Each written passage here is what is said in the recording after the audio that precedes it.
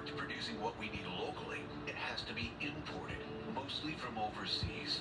And experts warn policies to shut down our local oil production before we have enough alternative energies in place would force our state to import much of the oil we still need from volatile foreign countries, risking our access to reliable energy while increasing prices here at home.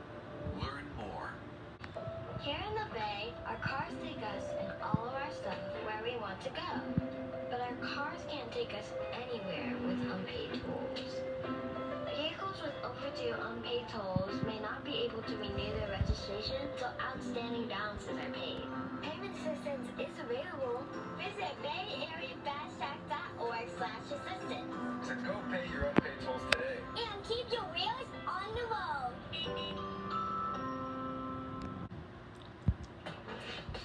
From ABC7, this is Toyota After the Game.